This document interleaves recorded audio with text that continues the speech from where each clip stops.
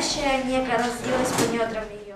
Ученики второй столичной школы занимаются в теплых классах. Сегодня в образовательное учреждение подали отопление. В школе, рассчитанной на 700 мест, обучаются 1893 ученика. И в нашу школу тоже отопление дали. Вот. Но постепенно, значит, э, сейчас э, хорошо отапливается кабинеты в начальных классах и, значит, э, другие кабинеты тоже. Вообще у нас всего в школе 57 класс комплектов.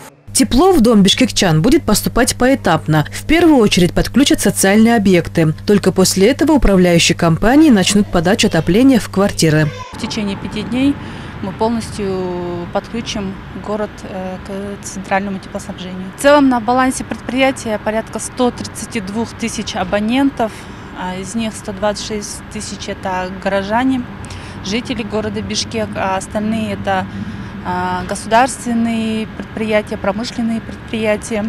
Энергетики обещают, что оборудование на теплоэлектроцентрале не подведет. Всего на ТЭЦ 17 котлоагрегатов, три из которых прошли капитальный ремонт. Вопрос поставки угля также решен. Предприятие Кыргызского отгрузит на ТЭЦ 950 тысяч тонн твердого топлива.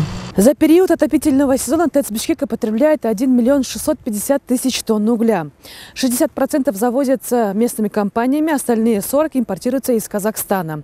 Сейчас на складе ТЭЦ имеется 281 тысяч тонн твердого топлива.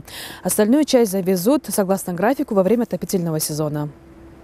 Э, помимо этого мы должны бы закупить э, газ в объеме 68 миллионов кубических метров. У нас э, все договора заключены. «Газпром» Кыргызстан на данный момент газ поставляет нам э, постоянно, э, бесперебойно. Помимо этого у нас есть еще э, договор с э, импортной фирмой поставки угли марки Караджира. Все котлы на ТЭЦ Бишкека работают с включенными очистными сооружениями. Коэффициент полезного действия золоуловителей и электрофильтров очистки на старом блоке ТЭЦ равнялся 94%. На новых он составляет 99,9%.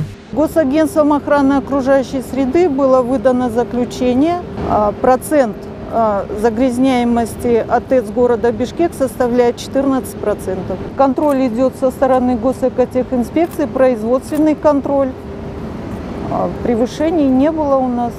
ТЭЦ обещает обеспечить столицу не только теплом, но и электричеством. За время отопительного сезона планируется выработать 2,5 миллиарда киловатт-часов. Это позволит отчасти покрыть дефицит, связанный с маловодьем на Токтогульском водохранилище.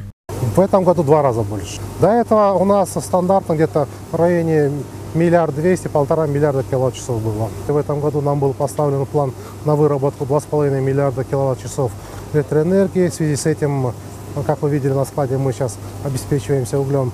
Теплоэлектроцентраль полностью готова к отопительному сезону, подчеркивает руководство объекта. Персонал переходит на усиленный режим работы для того, чтобы быть готовым к устранению неполадок и аварийных ситуаций.